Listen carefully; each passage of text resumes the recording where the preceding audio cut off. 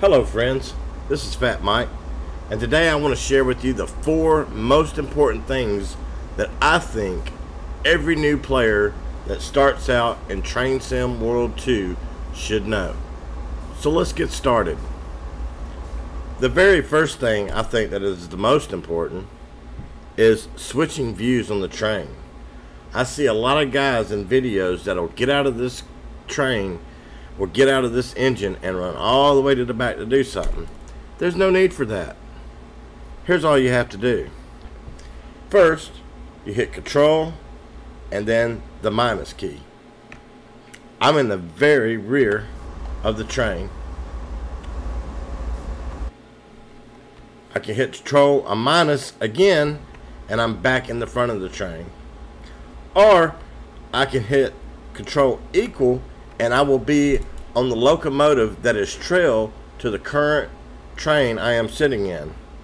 Now for this to work, you have to be sitting in the engineer's seat.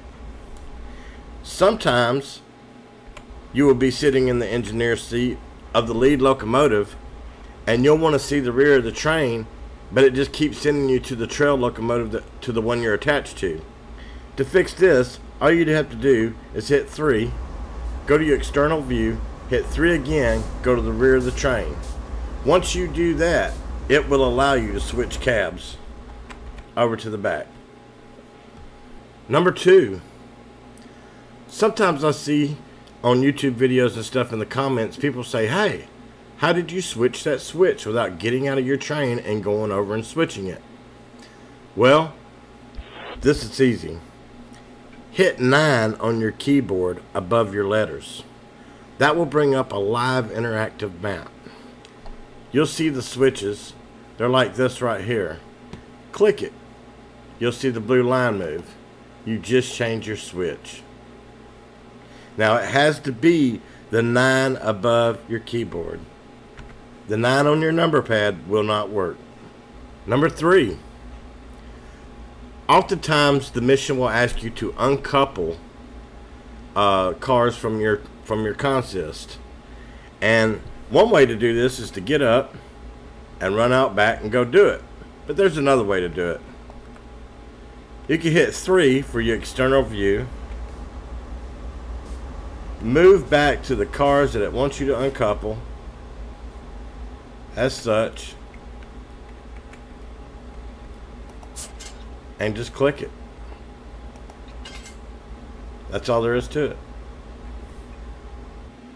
Number four, the pause menu. This can be your biggest helper.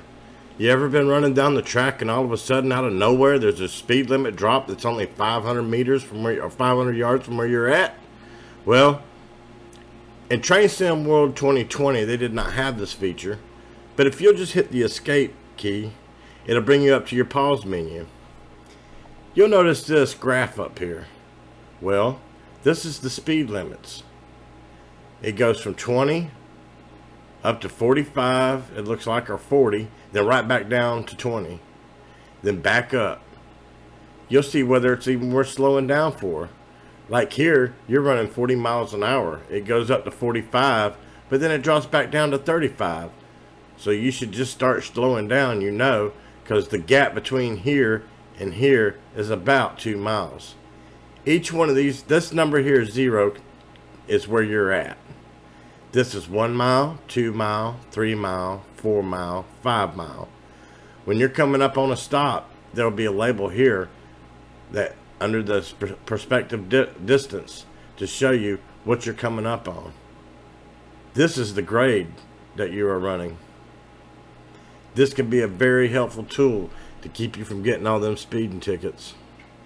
Well, that's it, guys. I hope I really, really hope somebody has gained from this. Some of these things you might have already known. But I'm just saying, I wish I would have known from the get-go. Hey, this is Fat Mike. Hit that like, hit that subscribe. Man, I really do appreciate it. I'm just an old guy trying to play some video games and have some fun. See you later.